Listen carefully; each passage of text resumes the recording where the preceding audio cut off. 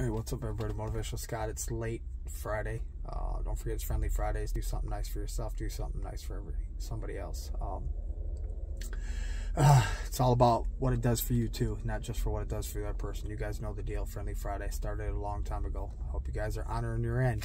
All right, so this video, I had a, a thought popped in my head. I was just about to get out of my truck and go in the apartment, but I was like, eh, I haven't made a video today, so I'll make you guys a video.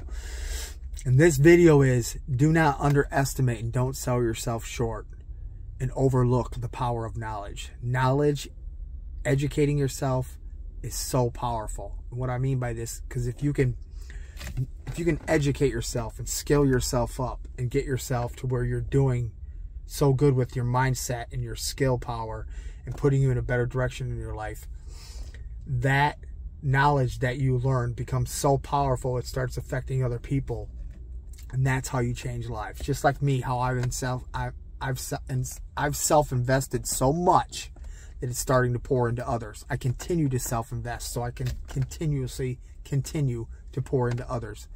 Like all of you great people watching this video right now, do not underestimate the power the power of knowledge.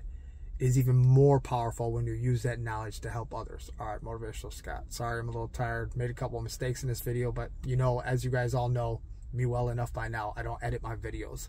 I don't do it for that. I don't do it to look cool. I do it to give you great advice and uh, the honest truth to get your butt moving in the right direction. All right, Motivational Scott, Friday night. Love you all.